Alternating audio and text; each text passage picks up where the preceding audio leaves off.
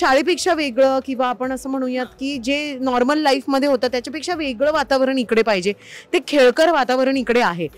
त्या त्या वयाच्या मुलांकडनं पाहतो आणि ऐकतो ना भारावून जायला होतं. असाच आमचा यु नो शो सुरू झाला आहे पण मला असं वाटतं की त्यांच्यातला जो क्यूटनेस आहे तो मी ओळखते. आमच्यासाठी ती मुलं त्यांचा मूड आणि त्यांचे परफॉर्मन्सेस हे सर्वश्रेष्ठ आहेत म्हणजे प्रायोरिटी आहेत. हॅलो नमस्कार फ्रेंड्स मी मज्जाची नीलम. ड्रामा ज्युनियर्स हा नवीन शो प्रेक्षकांच्या भेटीस येतोय आणि माझ्यासोबत त्यानिमित्तानं आहे एक सुंदर अशी जज अमृता. कशी आहेस तू? मस्त. Thank you so much Neelam. काय सांगशील की आम्ही तुला खूप रियालिटी शोमध्ये पाहिलंय. एका शोचा भाग म्हणून पाहिलंय. भाग असणं आणि जज असणं. हा प्रवास कसा आहे? मस्तच आहे कारण मला असं वाटतं की आयुष्याच्या वेगवेगळ्या टप्प्यांवरती मला रियालिटी शोजचा भाग होण्याची नेहमीच संधी मिळाली आहे. अँकर म्हणून कंटेस्टंट म्हणून मग जिंकलो आम्ही एक शो आणि आज मी एक जज आहे. याच्या आधीसुद्धा एका डान्स शोचं मी जजिंग केलं होतं. पण अशा प्रकारच्या ॲक्टिंग रियालिटी शोचं आणि ते पण लहान मुलांच्या शोचं मी केलं नव्हतं. सो फार मजा येते वेगवेगळी रूपं पाहायला मिळत आहेत महाराष्ट्रातल्या कानाकोपऱ्यातनं ही मुलं आली आहेत आणि अत्यंत रॉ आहेत ही मुलं. आणि संकर्षण आहे माझ्या सोबतीला. आणि ऑफकोर्स माझी अत्यंत गोड मैत्रीण श्रेया आहे जी अँकर करते. सो मज्जा आहे कम्प्लिटली पण आपण लहान पोरांना जज केलं किंवा त्यांना काही कॉम्प्लिमेंट दिली तर ते दुखावले जातात. म्हणजे काही आपण बोललो तर ते रडतात किंवा त्यांच्या मनाला लागतं. तर हे किती चॅलेंजिंग असतं की त्यांना समजावून सांगणं त्यांच्या ॲक्टबद्दल म्हणजे आमच्या इथे ना या शोवरती आमच्यासाठी ती मुलं त्यांचा मूड आणि त्यांचे परफॉर्मन्सेस हे सर्वश्रेष्ठ आहेत म्हणजे प्रायोरिटी आहेत. जर त्यांचा मूड नसेल तर आम्ही त्यांना फोर्स करत नाही. म्हणजे आमच्या इकडे एक इरा म्हणून मुलगी आहे ती तीन वर्षाची आहे. ती संपूर्ण स्किटभर ती संपूर्ण परफॉर्मन्सेसभर किंवा श्रेया जेव्हा बोलत असते आम्ही बोलत असतो तेव्हा बागडत असते. कंटिन्युअसली ह्या अखंड सेटवरती ती बागडत असते. कधीतरी आईच्या कुशीत जाऊन झोपते कधीतरी आमच्याकडे येते आणि आम्ही तिला रोखटोक करत नाही.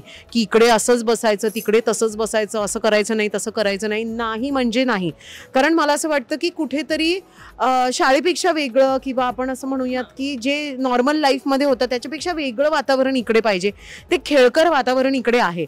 सो आम्ही त्यांना अजिबात दुखवत नाही. कोणी एलिमिनेट होणार असेल किंवा आत्ता तरी अजून आमचं एलिमिनेशन सुरू नाही झाले. तर आम्ही त्यांना असं अजिबात सांगत नाही की तुम्ही एलिमिनेट झाला आहात तुम्ही यु नो तुम्ही हे चांगलं केलं नाही किंवा ते चांगलं केलं नाही. आम्ही सगळ्या मुलांना चांगलंच बोलतो आणि त्यांचं कौतुक करतो. हा त्यांना टिप्पणी देतो आम्ही की हे. हे तू आहे ना हे मिस केलंस ठीक आहे? हे पुढच्या परफॉर्मन्समध्ये चांगलं कर. पण otherwise there are no negative comments पण लहान मुलांमध्ये राहून अमृताला बालपण आठवतं का हो एकतर माझ्या मैत्रिणीला श्रेयाला तुम्ही विच विचाराल तर अमृतामधलं लहान मूल अजून तसंच आहे असं सगळे म्हणतील माझ्या जवळच्या मैत्रिणी तर अगदीच म्हणतील.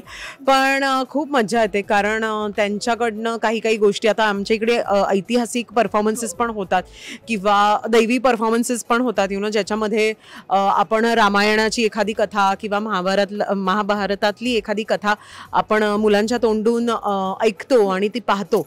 सो खरं सांगते ते जेव्हा आम्ही त्या त्या वयाच्या मुलांकडनं पाहतो आणि ऐकतो ना भारावून जायला होतं. असं वाटतं की बापरे म्हणजे आमच्या इकडे एक ध्रुव नावाचा एक मुलगा आहे. तो त्यांनी आता दोनदा तीनदा छत्रपती शिवाजी महाराजांची भूमिका केली. आणि मला त्याला बघितलं की असं वाटतं की बाल शिवाजीच आहेत. आणि तेच तेच बोलतायत त्यांच्या यु नो त्याच्या तोंडातनं. आणि फार फार सुंदर तो करतो. आणि असं मंत्रमुग्ध व्हायला होतं ग. आणि इतके धडे आता ना असे रिव्हिजन होतीये. अनेक धड्यांची. हो. तुझा पहिला असा तू केलेला स्टेजवरचा ड्रामा आणि तुला एखादी मिळालेली कॉम्प्लिमेंट जी तुझ्या कायम लक्षात आहे अशी कोणती? मी साधारण पाचवीत का सहावीत होते आणि तेव्हा मी माधुरी दीक्षितच्या गाण्यांवरती परफॉर्मन्स केलं होतं आमच्या श्री गोपाळ विहारमध्ये अखिया मिलाव कभी अखिया चुराव या गाण्यावरती. म्हणजे मी म- पप्पांचा कोट घातला होता पप्पांचा शर्ट घातला होता आणि पॅन्ट मम्मीची घातली होती ती इथपर्यंत आली होती मला बॉयकट होता आणि तेव्हा माझा आणि सतरंजी होती ना सतरंजी असते ना तसा तो स्टेज होता पार्किंगमध्ये असा लावलेला. आणि त्याच्यानंतर सगळ्या बिल्डिंगने मला M D M D Madhuri Dixit अशी हाक मारली होती अशी हाक मारली होती. So I think that was very special for me या अमृता जज तर चांगलीच आहे. म्हणजे आम्ही बघतोय की मुलं तुम्हाला थक्क करतायत. पण असं असतं ना की एखाद्या जजची कॉम्प्लिमेंट ती जजची ओळख बनून जाते. तर तशी तुझी कोणती कॉम्प्लिमेंट असते?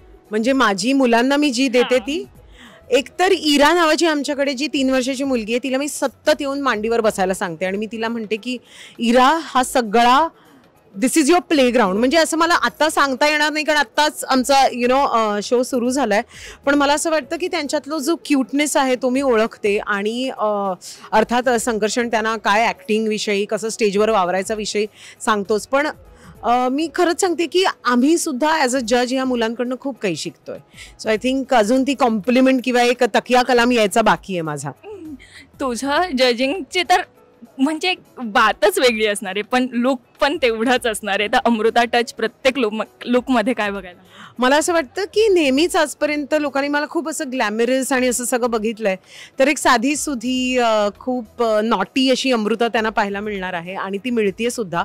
अर्थात म्हणजे वेशभूषा तर आलीच पण कुठेतरी आम्ही ते खूप एक्स्ट्रा ग्लॅमरस ठेवत नाही आहोत. मी असे काही यु नो कॉस्ट्युम्स घालतीये ज्याच्यामुळे मा मला कुठे रिस्ट्रिक्शन नाही आहे म्हणजे मला वाटलं की मला चेअरमधनं उठून मुलांसोबत नाचायचे तर मला ते करता आलं पाहिजे. सो असे खूप एक्स्ट्रा ग्लॅमरस आम्ही ते ठेवत नाही आहे खूप अप्रोचेबल असे असा लुक आहे कम्प्लिटली काय सांगशील की जाता जाता प्रेक्षकांना की तुम्ही ड्रामा ज्युनियर मला एवढंच वाटतं की लहान मुलांच्या तोंडून जेव्हा तुम्ही काही ऐतिहासिक पात्रांना बोलताना पाहता किंवा यु नो त्यांच्याकडनं काही इन्फॉर्मेशन येते. आता आमची इरा जी आहे ती दररोज एपिसोड सुरू व्हायच्या आधी एक सुविचार देते. सो या मुलांकडनं आपल्याला खूप काही शिकण्यासारखं आहे आणि तुमच्या घरातली जर मुलं असतील तर त्यांनासुद्धा खूप काही शिकण्यासारखं आहे. तर ड्रामा ज्युनियर्स नक्की बघा झी मराठीवर शनिवार रविवार रात्री रात्री नऊ वाजता. Thank you so much Marathi चित्रपटसृष्टीतील लेटेस्ट अपडेट्स आणि गॉसिपसाठी आमच्या चॅनेलला सबस्क्राईब करा आणि बेल ऐकन दाबायला विसरू नका.